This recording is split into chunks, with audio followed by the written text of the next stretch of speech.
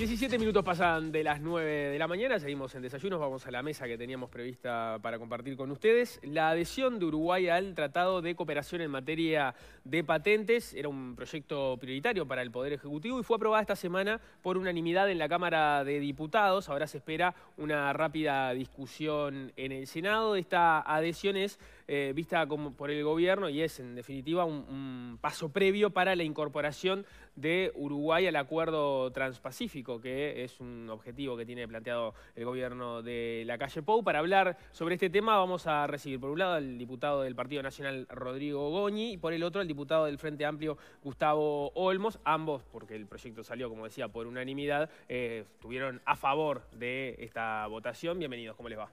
Bien, muchas gracias. Bienvenidos. Buenos días.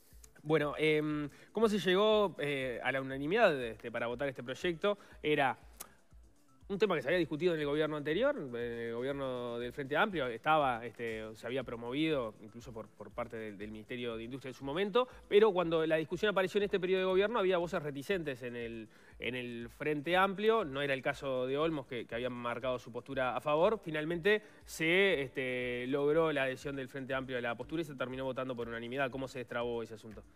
A, ver, no solo en el, gobierno anterior, en la administración anterior se había planteado, esto lo mandó la calle Herrera uh -huh. para ratificar, después lo mandó Sanguinetti en su segunda presidencia, después lo mandó Jorge Valle y después lo mandó Tabaré Vázquez en su segunda presidencia. Bien, y ninguna de esas veces había llegado a, Nada ocurrió. a, a, lo que aprobamos ahora, que es, por lo, que es la aprobación de una Cámara. Siempre ha quedado muerto eh, en la comisión. Claro, está bien. El, no, no, es, no, es, un tratado de, de, última generación, digamos. Es un tratado que viene desde la década no. del 70, ¿no? Exacto, que tuvo en los 90 un impulso importante. Eh, esto lo planteó el año pasado Ope Pasquet en una intervención que hizo en la Cámara y inmediatamente en esa misma sesión el diputado Goñi y yo, Iván Posadas, hablamos eh, a favor, entendiendo que era una herramienta importante para, para los inventores eh, uruguayos y, y, en una sociedad basada en el conocimiento, que, es lo que Uruguay debería hacer, o es unas líneas estratégicas, e, era un, una herramienta eh, realmente imprescindible. Había, desde, desde la primera vez que se trató, resistencias especialmente de la industria nacional, de los laboratorios nacionales este, y de algo de, las vinculadas al agro, eh, en cuanto al impacto que, te, que podía tener en, en, su actividad. Yo creo que hay un par de cosas que cambiaron en los últimos años. Eh, una es un estudio de los eh, economistas Gandelman y Dubra, que eh, es la primera vez que hay un estudio cual, cualitativo, dice, bueno, a 20 años, suponiendo que la industria no reacciona, el impacto realmente es mínimo. Hablaban de, de, de 20 puestos, 20 de, trabajo, trabajo 20 años en 4.500 que hay. Y, y, repito, en el peor escenario que suponiendo que los laboratorios no hacen nada. Este, y por otro lado, una estimación de 7 7 millones 900 mil dólares de ingreso por royalties eh, por, por, por, por, haber ingresado. Entonces, bueno, este fue como el, este, lo que en aproximaciones sucesivas estuvimos trabajando en la bancada del Frente Amplio y, con otras bancadas, porque tampoco era unánime en todos los partidos. Este, y llegamos a una solución que ayer escuchaba a, un directivo de, los laboratorios nacionales diciendo que le, que le parecía una buena solución, que era que fue este, postergar, digamos, la aplicación del tratado en uno de sus puntos que es un, un informe internacional que, que, se puede pedir sobre el estado de, del arte en lo que yo quiero patentar. Ahora de repente profundizamos un poco de eso, pero yo capaz que arranqué un poco desordenada la conversación y le paso la pelota a, a Goñi. Eh, expliquemos bien en qué consiste el tratado. Básicamente es un... La, el tratado de patentes es un, un marco que facilita registrar tus patentes que si hace 30 años era necesario, porque algo 157 países ya están adheridos. De 195 hoy, que tiene de el 195. mundo. Hoy, en la sociedad de conocimiento, la economía del conocimiento, donde la innovación es el gran motor, si tú no innovas en todos los sectores y en todos los eslabones de la cadena de producción, tú quedas fuera del mercado. Esa empresa, ese sector, esa industria. Entonces, en el mundo de la innovación, estar trancando, frenando, nada más que una de las herramientas claves que tiene el inventor para motivarse a investigar, el, desarrollador tecnológico animarse y arriesgar a desarrollar un producto o un servicio, y los financiadores para, bueno, tratar de que esas investigaciones también se puedan aplicar y luego salir al mercado, este sistema de incentivos básico, de motivación básica para innovar, estaba frenado en Uruguay. ¿Por qué? Porque lo que permite el la adhesión al tratado son dos cosas que las, van a entender todos. Una es la forma de registrar, la forma de solicitar se simplifica muchísimo. Imagínense lo que es el registro de un invento, toda la documentación, todos los prototipos, todo lo que hay que agregar. Bueno, acá hay un formulario básico, el tratado, sin el tratado no, que permite, que te va llevando a que tú puedas rápidamente y en forma sencilla y sin cometer 500 errores como lo podés cometer sin un formulario que te vaya guiando para hacer ese registro. Y segundo, segundo, más que duplica el, plazo para que tú, desde que registrás, haces tu solicitud, tenés, en vez de 12 meses, tenés 30 meses para tener la prioridad y la protección hasta que tú lo registres en cada país, porque después tenés que registrarlo en cada país. Pero imagínate lo que es para un investigador, un innovador, un emprendedor eh, sin recursos, que es la enorme mayoría de nuestro país, por supuesto, que no tiene ninguna posibilidad, primero de traducir para hacer una solicitud, traducir en cinco o seis idiomas, todo lo que eso pierde de tiempo, lo que además necesita el investigador en ese tiempo para conseguir un aliado, para seguir un inversor, para conseguir socios en otros mercados, porque imagínate lo que es ¿no? Eh, pretender que tu invento se pueda desarrollar en el mundo. Todo eso, de 12 a 30 meses, que es muchísimo, preguntarle a cualquier investigador, es lo que este tratado te habilita. Son dos, elementos claves. Ahí está, yo lo que, lo que también entendiendo de manera este, muy, muy, muy simple es, vos lográs una precalificación, digamos, o una forma de ingreso del, trámite y este, que, digamos, te da como un estándar para después el cual vos seguir con, este, patentando en cada uno de los países, ya teniendo ese camino avanzado y allanado. De la otra, y el tiempo extra. De la otra forma, vos tenés que ir, eh, si lo querés hacer de Uruguay, a cada país a patentarlo o entrar en un país que efectivamente tenga la patente consiguiendo un socio de, este, de otro tú país. Después vas a tener que ir a patentar a cada país, pero te, das, te dan una ventana de 30 meses para ver si tu invento tiene posibilidades, si tú tenés recursos para desarrollar, imagínate, un uruguayo en Estados Unidos o en Alemania o en Europa o en cualquier otro país de Europa. Entonces, estos dos elementos, por algo los 157 países más importantes han adherido. Son dos temas, dos puntos clave, pero además, muchísimo más que estos dos elementos concretos, después vamos a hablar su, su, incidencia para poder facilitar el ingreso a otros tratados este, comerciales internacionales como el Transpacífico, es un tema de, imagen país. Es decir, eh, te, te cuentan los negociadores internacionales, cuando se iba a hacer cualquier negociación internacional, ¿Y por qué Uruguay no está adherido a un tratado básico de un tema tan, pero tan importante para la innovación y en el mundo de hoy ni que hablar? Entonces, era una vergüenza nacional, nosotros lo dijimos, yo lo dije en todos lados, era imperdonable. Y era culpa del Parlamento, ¿eh? porque como bien dijo el Tato, eh, varios presidentes de todos los partidos presentaron, promovieron, impulsaron. Y en el Parlamento durante 30 años se, se trancaba, lo que es una señal bien clara, que algún otro día podemos conversar y para mí es prioridad, de la poca, del poco corte, iba a decir otra palabra, que se le da a la ciencia, innovación y tecnología en este país, en las políticas públicas, sobre todo en el Parlamento, y es donde yo soy el parlamentario, respondo por el Parlamento, donde en vez de ser prioridad, bueno, este, este, tratado de patente no solamente demoró 30 años, sino que demoró un año y medio y patinó, ¿eh? También puede ser visto o sea, como una forma un poco más cínica de que el Parlamento es permeable a las presiones de determinados lobbies también. Yo te diría que más por, por irresponsabilidad, por no darse cuenta de la prioridad. Nosotros con, con Olmos integramos no solamente la Comisión de Ciencia, Innovación y Tecnología, que es la hermana pobre de las comisiones parlamentarias, queda para el final, eh, ni siquiera es permanente, pero además la Comisión de Futuro. Eh, la ciencia, innovación y tecnología no es prioridad en el Parlamento Nacional. Y eso es culpa nuestra. ¿eh? Algunos tratamos de empujar, pero eh, en el mundo de hoy, sociedad del conocimiento, economía del conocimiento, y donde todo se mueve en función de la innovación permanente, acelerada, el Uruguay el Parlamento. Es culpa del Parlamento y es responsabilidad del Parlamento poner el desarrollo de la ciencia, innovación y, tecnología en el centro. Lo hacen los demás países, lo hacen los países desarrollados. Los países que han podido avanzar en este mundo son porque han puesto ciencia, innovación y tecnología en primer punto de la agenda nacional. Tengo una duda que, es una duda por, el desconocimiento de cómo funciona esto a nivel internacional. Em, entiendo que es beneficioso para, para quienes quieran en nuestro país em, patentar, sus, investigaciones, su conocimiento.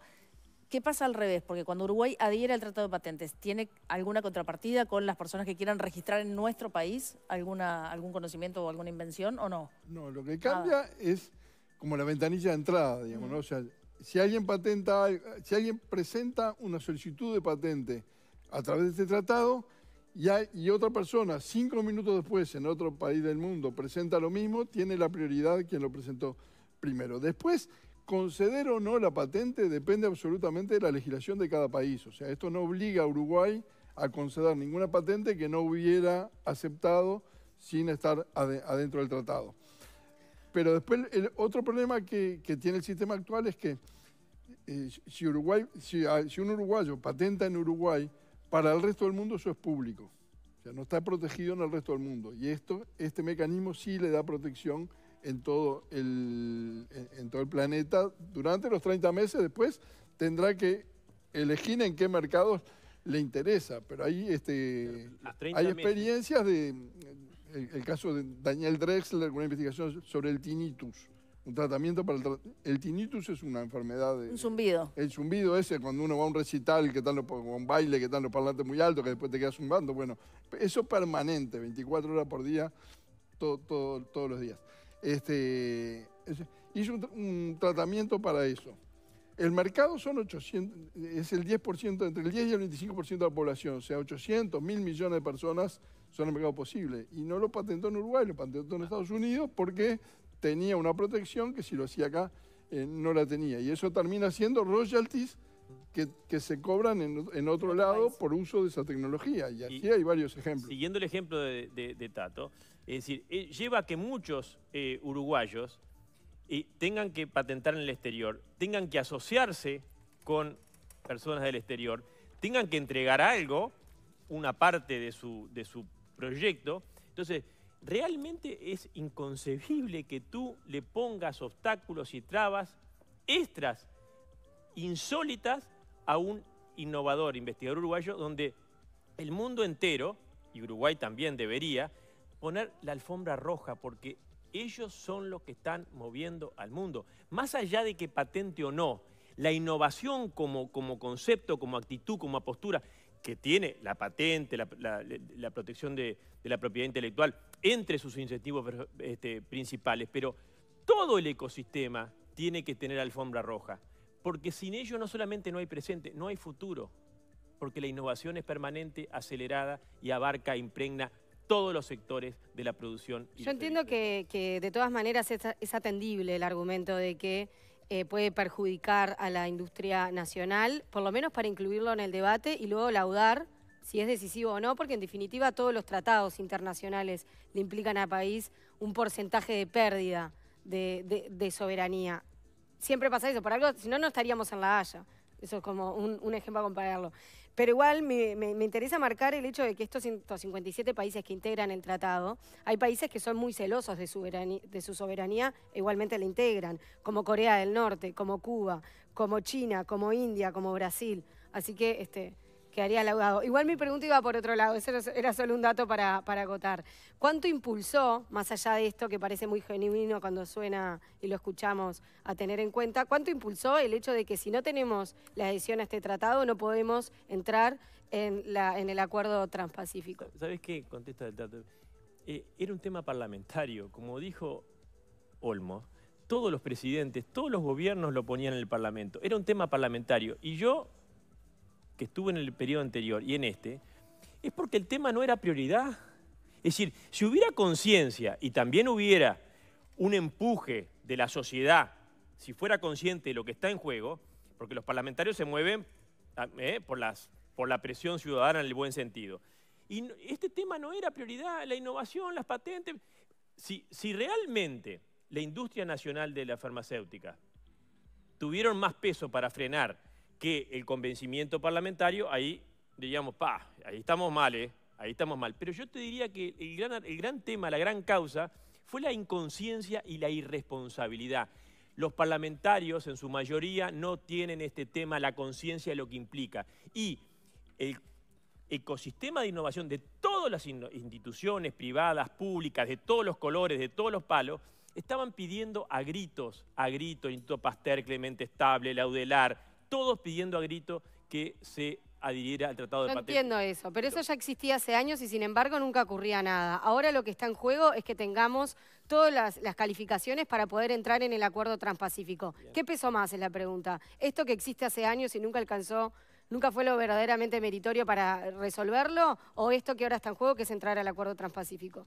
Ah, Olmos, eh, Yo creo que lo que cambió es lo que decía al principio, digamos, un mayor nivel de conciencia de, Más de maduro. cuál- de cuáles eran la- la- los beneficios que esto generaba, estudios científicos que mostraban que el impacto era relativa- relativamente menor y mayor conciencia de, de- de los, de los parlamentarios sobre, sobre esto.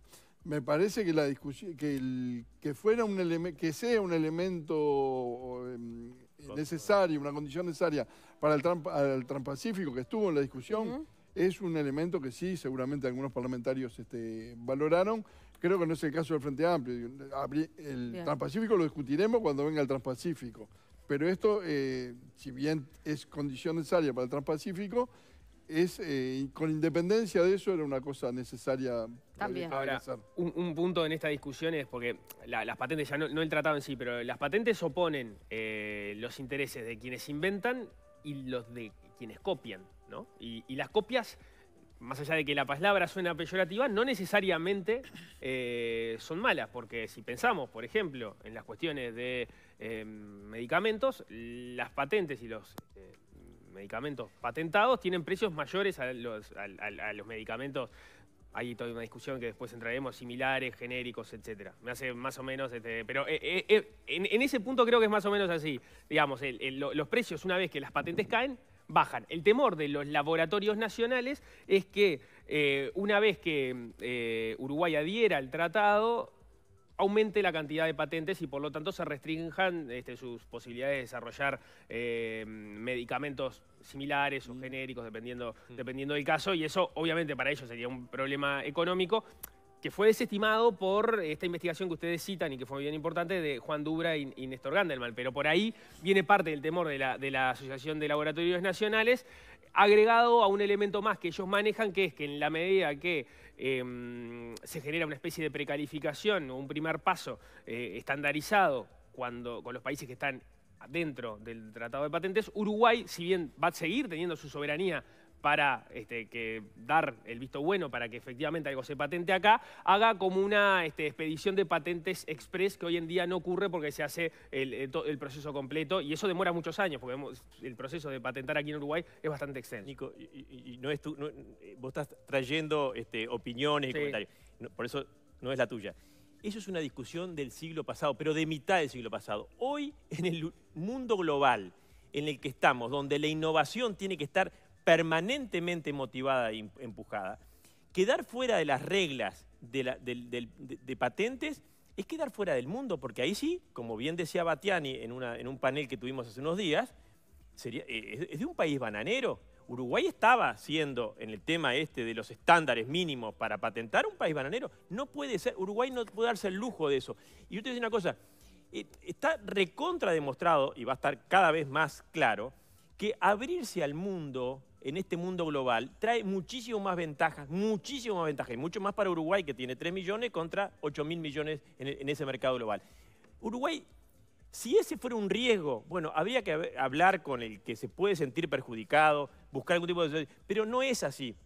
El Uruguay tiene todo, pero también el sector de las farmacéuticas, muchísimo más para ganar, con una, una inversión que, se abre, porque las inversiones a investigación no van a venir acá si no, no podés patentar. Entonces, esas farmacéuticas, que además muchas ellas son multinacionales, van a estar mucho más cómodas con este sistema nuevo adherido al Tratado de Patente, con las reglas internacionales que son las únicas que pueden regir en el mundo en estas cosas, que tratando de cerrar el mercado de Uruguay de 3 millones.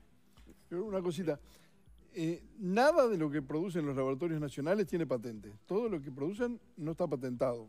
Y el, y el tratado este no es retroactivo. O sea, todo lo que sí están haciendo lo pueden seguir haciendo. No, no hay ninguna Es un buen punto ese. en ese sentido. Sí, el temor es que empiecen a de- caer, a, a venir bien, patentes, pero de- entonces el, ese pero de, no de pueden salir a 5.000 copiar. y pico de medicamentos, eh, y, y sobre todo entre los más relevantes que, que- sí, que- que- Radicó. que se usan en Uruguay para lo que cubren, o sea, el 90-95% de las, de las enfermedades habituales, ninguno de esos tiene patentes. O sea, podrían patentarlos una vez esto esté vigente.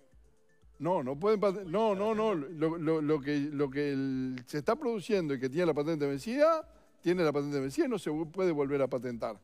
Es este, no, no- no es retroactivo, no hay problemas eh, en ese sentido. Y además, el, el argumento del precio, la evidencia internacional, y está en este estudio, es que no hay aumento de precio. Los países de la región que tienen eh, precios más altos en los medicamentos, que son Argentina y Bolivia, no están en el tratado. ¿Por qué, ahí va, eh, eso quería consultar, ¿No? ¿por qué no están en el Tratado Argentina y Bolivia? ¿Por qué? No ¿Cuál es, por pero qué cuál, no cuál están es su tratado. argumento? Argentina no tiene explicación nunca, ¿no? No tiene explicación. Pero eh, el, el- el- el tema de los costos de medicamento, que fue el otro gran argumento para frenar, eh, no solamente el Ministerio de Salud Pública hizo, un informe donde no hay ningún elemento para que se pueda proyectar una suba de precios, no hay mago que lo haga, pero además el ministro actual de Relaciones Exteriores, pero ex ministro de Industria, que realmente conoce mucho el tema, daba el argumento contrario. Quizás eh, al entrar muchas empresas que empiezan a patentar en Uruguay, se haga un mercado incluso más competitivo y los precios de los medicamentos bajen. Es decir, es un ida y vuelta. Ha- Hay una discusión también, ¿por qué? O sea, porque es una curiosidad, ¿no? ¿Por qué Uruguay tiene medicamentos baratos en un contexto donde todo es más caro, ¿no? Y ahí hay una cuestión que es compleja, vamos a avanzarla en algún momento en el programa, y es porque Uruguay no hace estudios de bioequivalencia para los similares. Y También. ¿no? Y eso, y es eso otro- es, clave, también, porque eso implica, sí, sí. eh, cuando, si, lo, lo- lo explico brevemente y prometemos una entrevista para avanzar sobre el tema porque, porque tiene este, su complejidad, pero es cuando un medicamento eh, es copiado por un laboratorio nacional, lo registra ante el Ministerio de Salud Pública, si bien hay una ley que establece sobre el caso, en, en un amplio porcentaje no se hacen estudios de bioequivalencia para determinar que efectivamente eh, tienen los mismos efectos que el original que se está copiando. Y esos ese estudio de bioequivalencia tiene costos porque se implican determinados ensayos clínicos, se hacen en la mayoría de los países y eso aumenta el costo. Y Uruguay no lo hace. Y entonces eso Es lleva a que eh, los medicamentos sean más competitivos. Son más competitivos porque tienen un estándar de prueba menor al que tienen otros países. Eso yo decía el otro día en, en- en la sesión, digo, es, es una de las tareas pendientes que le, que le queda al Uruguay. Porque a- además es tan engorroso hacer los estudios clínicos que lo que hacen, por ejemplo, el, el- el Pasteur tiene un proyecto que, lo, que lo, lo termina haciendo los ensayos clínicos en Australia, porque lo que demora acá el Ministerio de Salud Pública en autorizarle el ensayo y en hacerlo y las condiciones que le pone, hace que, que cuando va a hacer el estudio ya está obsoleta la investigación. Entonces, eh, lo, lo hacen, lo termina haciendo en otros países. Pero es- esto que vos mencionás es un tema eh, bien relevante y clave, que es asegurar que los medicamentos tengan la calidad y los efectos que supuestamente deberían tener y no que estemos eh, consumiendo No, el punto es que el efecto central por decirlo de tal vez lo cubra, pero no así las reacciones que pueden generar a nivel secundario. Ta- Hay que estudiarlo. Tareas pendientes, pero la gran tarea pendiente es poner la ciencia, la innovación y la tecnología como prioridad nacional, a nivel sociedad, parlamento y país todo, porque sin eso nosotros todos estos temas son puntas de iceberg que no las vamos a poder tapar. Bien. Rodrigo Goñi, Gustavo Olmos, muchísimas gracias por estos minutos. ¿eh? Por favor, gracias a ustedes. Un. Gracias. Hacemos un corte.